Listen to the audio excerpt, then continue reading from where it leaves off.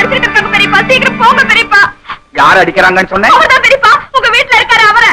நம்ம வீட்டுல கருப்பணனியா? ஐயோ இல்ல பெரியப்பா என்ன பொண்ணு பாத்துட்டு போறாரு அவரு பெரியப்பா சீக்கிரமா போங்க பெரியப்பா. ஆனா நீ ஒண்ணு. அவன் யாரோ அசலூர்காரன் அவன் அடிச்சா நீ ஏமா இப்படி பதற? பெரியப்பா நீங்க விளையாட இதுவா நேரம். அவரை போய் காப்பாத்துங்க பெரியப்பா. மங்களா உனக்காவது அவன் பொண்ணு பார்த்துட்டு போன சம்பந்தமாச்சு இருக்கு. எனக்கும் அவனுக்கு என்ன இருக்கு? வயசான காலத்துல அவனுக்கு வக்காலத்து அவங்க போய் என்னையும் சேர்த்து நாலு சாத்திட்டாங்கன்னா இதெல்லாம் நமக்கு ஒத்து வராதுமா? பெரியப்பா உங்க காலை பிடிச்சு கெட்டி கட்டுக்கிற பெரியப்பா. எதுனா மனசுல வச்சு பேசாதீங்க. தயவு செஞ்சு அவரை காப்பாத்துங்க பெரியப்பா. இத பாருமா. உங்க அப்பா எவனை கட்டிக்க சொல்றானோ அவனை தானே நீ கட்டிக்க போற. இந்த பைய கேடு கட்டு போனா உனக்கு என்ன நீ போய் சாப்பிட்டு பேசாம தூங்கு.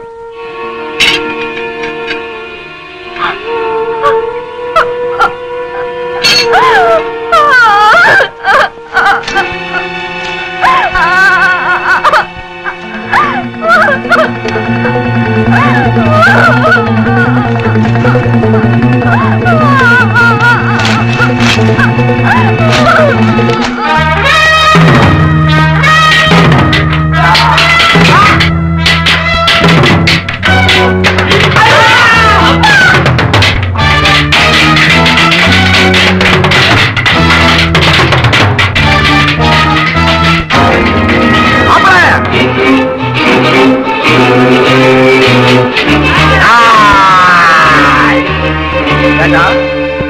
எங்கிட்டயே தொழில கத்துக்கிட்டு என் மாப்பிளையவே படம் பாக்குறீங்களா இப்ப நான் சொல்லி கொடுக்காத தொழில் எல்லாம் என் மாப்பிளை சொல்லி கொடுப்பான்டா. மாப்பிளை ரெடி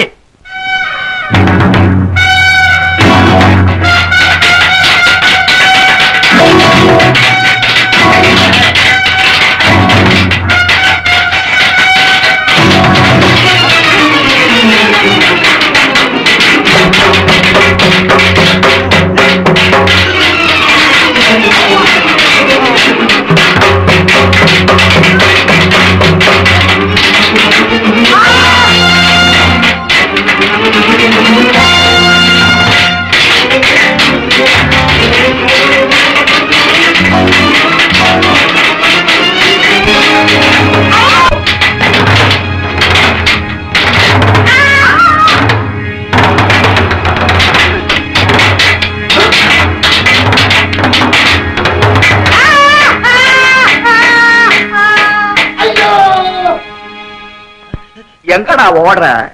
ஏண்டா? காசு கொடுத்து மாப்பிளை அடிக்கிறதுக்கு ஆளையா செட்டப் பண்ற?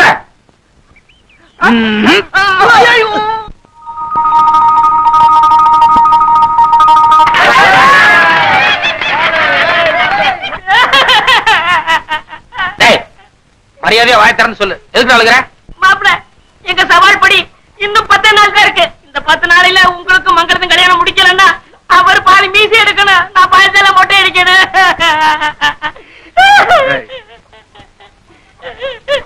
மறந்துட்டாலும் அடிக்கடி ஞாபகப்படுத்துறேன். பத்து நாள் என்னடா? பத்து நிமிஷத்துல காரியத்தை சாதிக்கிறேன் சும்மா வாயில அபிஷேகம் செய்த பத்தியார. யாரோ ஒரு அசூர்காரன் இப்பதான் மங்களத்தை பொண்ணு பார்த்துக்கிட்டு இருக்கான்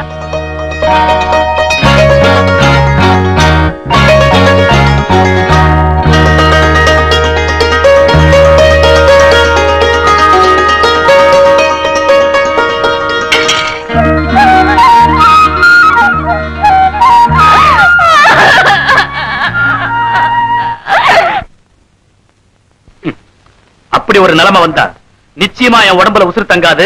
இத நீ ஞாபகத்துல வச்சுக்க.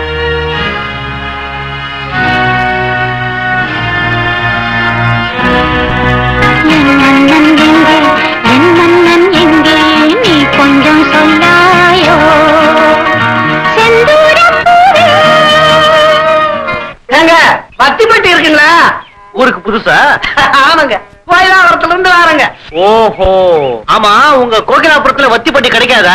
இது எப்படி இருக்கு பாரு. அது இல்லைங்க என் தங்கச்சி மகன் கோயிலாபுரத்துல படிச்சுட்டு வாத்தியாரா இருக்காங்க. அவனுக்கு இந்த ஊர்ல குருவம்மா மகளை பொண்ணு கேட்கலான்னு வந்தாங்க. பொண்ணு எப்படிங்க?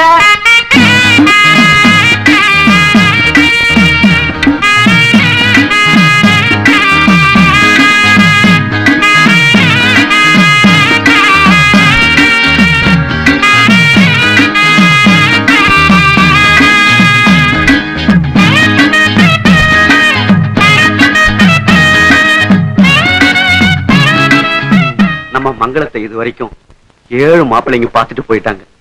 ஆனா ஒண்ணு கூட சரியா அமையல. இன்னைக்கு எட்டாவது மாப்பிள்ளை பார்க்க வரதா கேள்விப்பட்டேன்.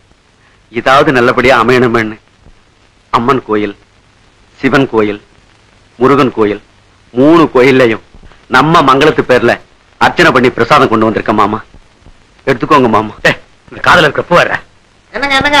மாப்பிள்ளை வந்துகிட்டு இருக்காங்க. வாங்க. வணக்கங்க. வாங்க வாங்க வாங்க. உள்ள வாங்க. பத்து வருஷமா உங்ககிட்ட வர சொல்ல வச்சுக்கிட்டு இருக்கேன். வியாபாரத்துல இருக்க நானே மத்த விஷயத்துல இல்லாம போச்சே. நேத்து தான் உன் பொண்ணு சமாச்சாரம் கேள்விப்பட்டேன். தம்பா வீட்டு பொண்ணு போய் பாத்துக்கிறேன் வர்றேன்.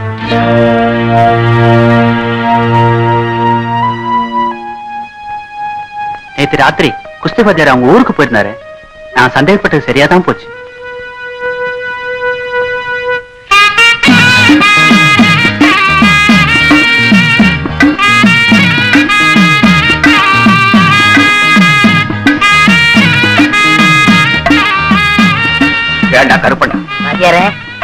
பொன்னம்பலம் முறைக்கிற தோரணைய பார்த்தா இன்னைக்கு இன்னொரு பஞ்சாயத்து கூடும் போல இருக்கே.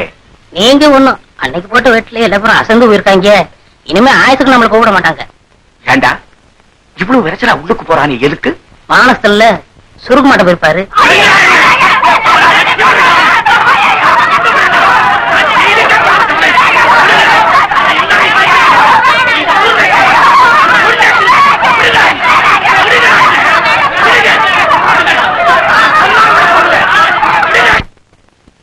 அவங்க தான் போயிட்டாங்கல்ல. விடுங்க வாங்கண்ணே வாய மூடுறா. ஏகப்பட்ட கெட்ட வார்த்தையை திட்டிப்புட்டான் இன்னைக்கு அவனை சும்மா விட போறதில்ல. ரெண்டு மத்த கண்ணடிச்சுட்டு வந்து பேசிக்க. போடா.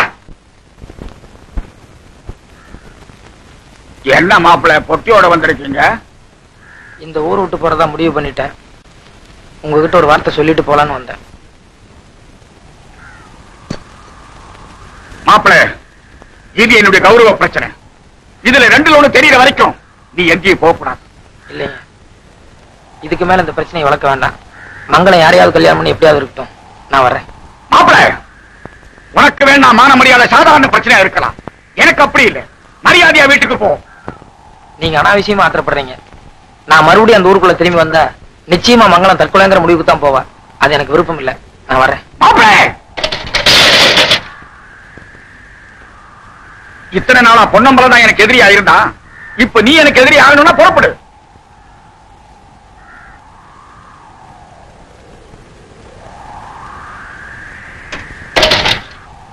அனாவசியமா என்ன முரடனாக்காதே.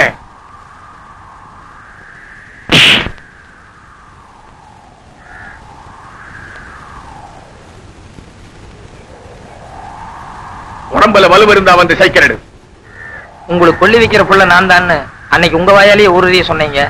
நீங்க அதை விளையாட்டா சொல்லியிருந்தாலும் உண்மையிலேயே நான் உங்களுக்கு அந்த மரியாதை கொடுக்கணும்னு நினைக்கிறேன். தயவு செய்து என் பொறுமையை சோதிக்காதீங்க.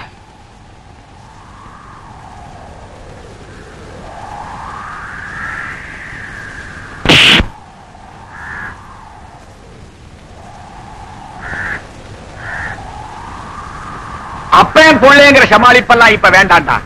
நீ சரியான ஆம்பளையா இருந்தா. என்ன ஜெயிச்சிட்டு அப்புறம் இந்த ஊரை விட்டு போ.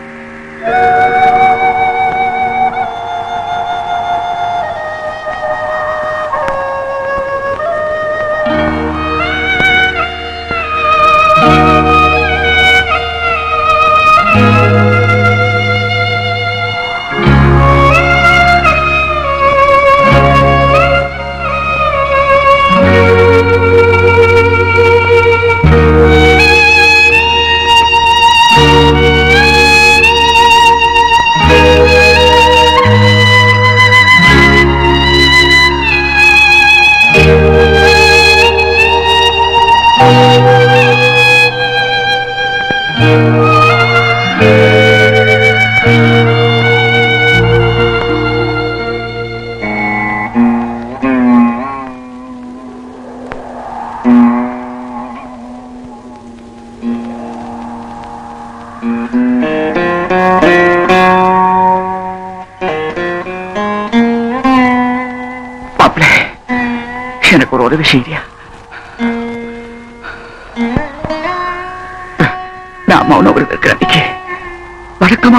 போவேனே. அது வரைக்கும் என்ன கை தங்கல கூட்டிட்டு போறியா? கூட்டிட்டு போங்க மாப்பிள்ள.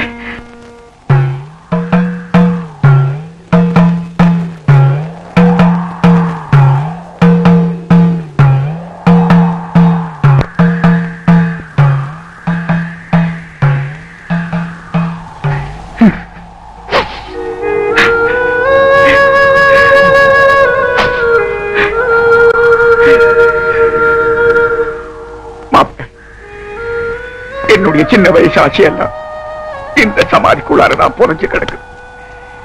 இப்ப இருக்கிற மங்கள மாதிரியே இதுக்குள்ளாரி ஒரு மங்களம் இருக்கிற இன்னைக்கு நீ எந்த நிலைமையில இருக்கிறியோ அதே நிலைமையிலதான் நாற்பது வருஷத்துக்கு முன்னாடி நான் உயர்ந்தேன். அப்ப பேச தட்ட முடியாம இவ தவிச்சப்போ எங்க இருந்தாலும் நல்லா இருக்கட்டும். உன்ன மாதிரியே நானும் ஒருங்கி நின்னுட்டேன். ஆனா ஏதோ ஒரு வீராப்பில அவனுக்காக அடுத்தவங்க கிட்ட கருத்தை நீட்டுறவ அடுத்த நாளே என்ன மறக்க முடியாது தூக்க மாட்டேட்டான் மாப்பிளே. தூக்க மாட்டேங்கிட்டான்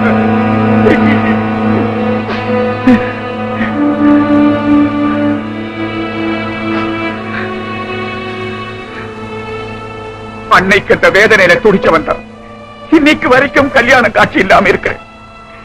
எனக்கு வாரிசாணி வந்துடக்கூடாதேங்கிற பயத்துலதான் உன்னை இவ்வளவு தூரம் கட்டாயப்படுத்த மாப்பிள்ள தயவு செய்து அவசரப்பட்டு போயிடாது. எப்படியாவது மங்களத்தை கல்யாணம் பண்றதுக்கு முயற்சி பண்ணு. சொல்லு மாப்பிள்ள சொல்லு. என் கூட வரேன்னு சொல்லு.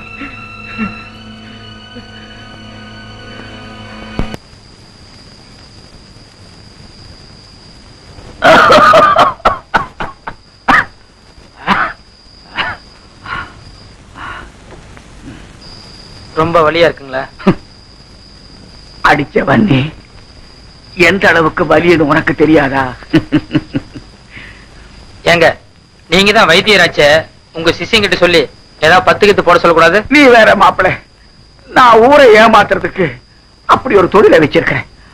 அத போட்டா வரியில் எச்சாயிடும். சரி பேஸ்ட் கேட்காதீங்க கண்ணை மூடி தூங்குங்க. மாப்பிள. என்ன?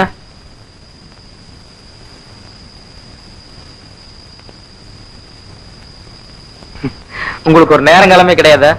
மாப்பிள வயசான காலத்துல இந்த கிழவன் கேட்கறான் கொஞ்சம். பேசாம படுங்க. மாப்பிள.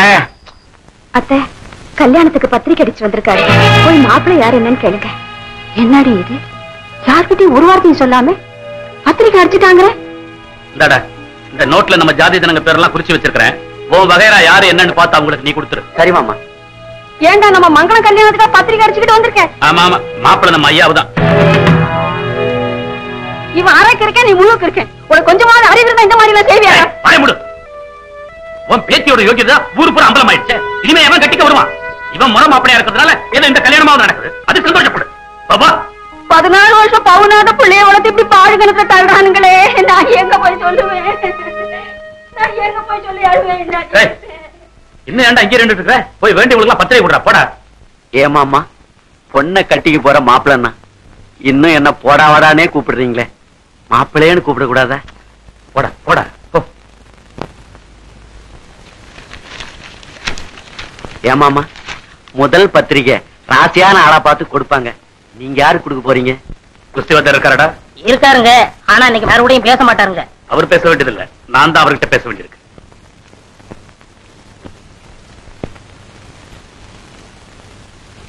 உட்கார்ந்து பேசுற அளவுக்கு எந்த விஷயமும் இல்ல. இன்னும் ரெண்டு நாள்ல என் பொண்ணு கல்யாணம். முதல் பத்திரிகையை உனக்கு தான் கொடுக்கணுங்கிற வைராக்கியத்துல வந்தேன். இந்த.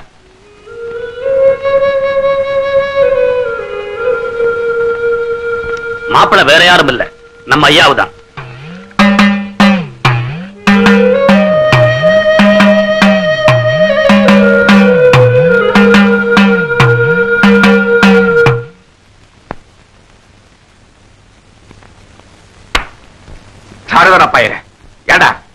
மறுவாதியா சொல்லு.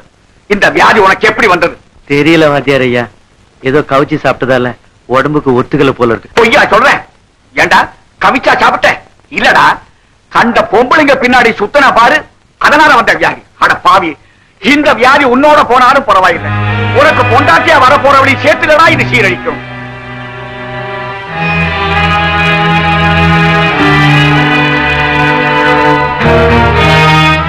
வழக்கமா எல்லா மாப்பிளையும் கெடுத்த மாதிரி இந்த மாப்பிளையை கெடுக்க முடியாது. வர்றேன்.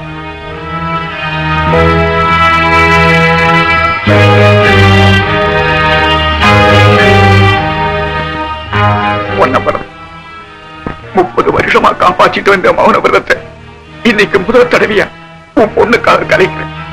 தயவு செய்து அவசரப்படாது. ஐயா கட்டிக்கிட்டா மங்களத்துடைய வாழ்க்கை நரகமாயிடும். மாமூலா பொண்ணு சரியில்லைன்னு மாப்பிள்ளை வீட்டுக்காரனை குத்தி விட்டுக்கிட்டு இருந்த. இப்ப மாப்பிள்ளை சரியில்லைன்னு பொண்ணு வீட்டுக்காரனை குத்தி விடுறியா? இல்ல பொன்னம்பலம் வைத்தியங்கிற முறையில சொல்றேன். ஐயாவுக்கு மோசமான வியாதி இருக்கு. அந்த வியாதி மங்களத்தை சேர்த்து சீரழிச்சிடும். தயவு செய்து இந்த கல்யாணத்தை நிறுத்திடு. இவ்வளவு நாளா மிஞ்சி பார்த்த. இப்ப முடியலன்னு தெரிஞ்சதும் கெஞ்சி பாக்குறியா வரேன். பொன்னம்பலம் பொன்னம்பலம் பொன்னம்பலம் வர இருபத்தி ஏழாம் தேதி என் பொண்ணு கல்யாணம். அவசியம் வரணும். எல்லாரும் வந்துருங்க. இத பாருங்கடி. மூளைக்கு மூளை உட்கார்ந்து இப்படி முக்கி முக்கி அழுதுகிட்டு இருந்தா என்ன கண்ணால நிக்கவ போகுது மூணு பேருமா சேர்ந்து ஒரு முடிவு எடுத்து அவனை எதிர்த்து நிப்போம் அதுக்கு அவன் ஒத்து வரலன்னா இவளை வீட்டை விட்டு தாட்டுவோம். என்ன சொல்றேன்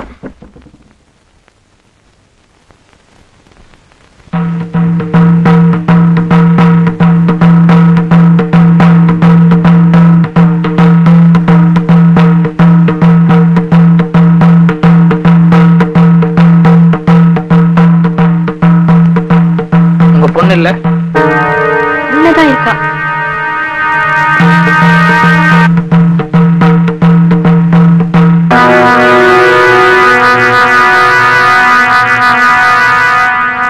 இன்னொரு தடவை நீ வாசலை தாண்டி இருந்தா உங்க அப்பா மட்டும் தாண்டி செத்துருப்பாரு. ஆனா இன்னொருத்தனும் உன்னை தொடர்றதுக்கு சம்மதிச்சிருக்க பாரு. இதுல பொம்பளை வர்க்கத்தையே சாகடிச்சிட்டு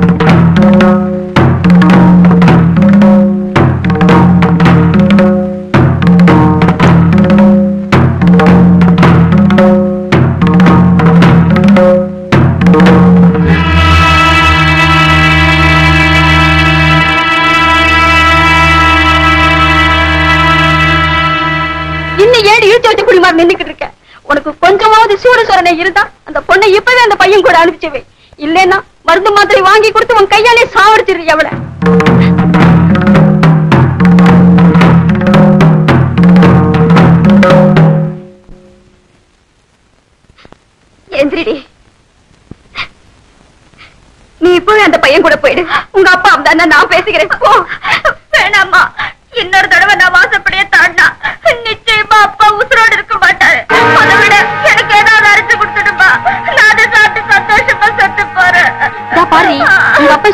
செத்து போறேன் செத்து போறேன்னு பூச்சாண்டி காட்டுவான். அதை கேட்டு நீ பயப்படாதடி. தைரியமா கிளம்பு.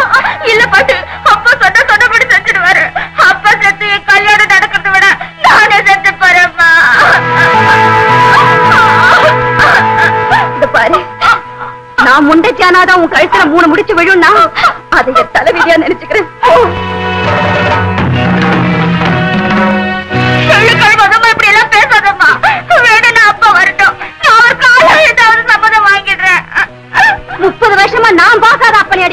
அப்பனையாடி போற? பரட்டு பிடிவாதங்கிறது அந்த ஆளு கூட பிறந்த வியாதி மாதிரி. இத்தனை வருஷத்துல எந்த நல்லது கெட்டதையாவது பெத்தவளையாகட்டும் என்ன ஒரே ஒரு வார்த்தை கலந்துருப்பாரா புருஷன் தப்பு பண்ணாலும் பொண்டாட்டி பொறுத்து போட்டா மரியாதுன்னு இத்தனை நாளும் வாய முடிட்டு இருந்துட்டேன் அதனால அந்த ஆள் இன்னைக்கு எல்லாம் மீறி போயிட்டு இருக்காரு அவரோட வாழ்க்கை பிடிவாதத்துக்காக உன் வாழ்க்கை தான் பாழானுமா அதை விட நீ ஆசைப்பட்ட பையன் கூட ஓடி போறதுல தப்பே இல்லடி தப்பே இல்லை பாரிடி புடிச்சு வைக்கிற வரைக்கும் தான் பிள்ளையாரு. வழி தெரிஞ்சா அப்புறம் சாணிதான் உங்க அப்பனை கொடுக்க வேண்டிய மரியாதையை கொடுத்தாச்சு. அதை காப்பாத்திக்க அவனுக்கு வக்கு இல்ல. இனி அப்பனாவது ஆட்டுக்குட்டியாவது. கிளம்புடி. ஒரு பொம்பளை தொட்டு கெட்டாவோட தப்பு இல்ல அது தீட்டு மாறி. ஒரு தடவை தலைக்கு முழுனா சரியா போயிடும். ஆனா நீ மனசால கெட்டவ. தாக ஒரு பக்கம் தண்ணி ஒரு பக்கம்ங்கிற மாதிரி. நீ அந்த பையனை மனசுல வச்சுக்கிட்டு ஐயாக்கு முந்தாணி விரிச்சா? அதை விட அசிங்கம் வேற எதுவுமே கிடையாது.